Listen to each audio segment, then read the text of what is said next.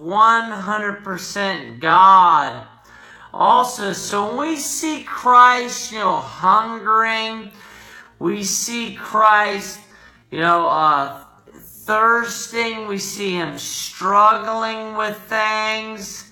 Uh, we see what we see is we see the humanity of Christ.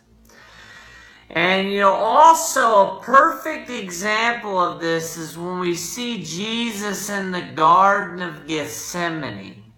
When he's going through the hardest trial and tribulation of his entire life,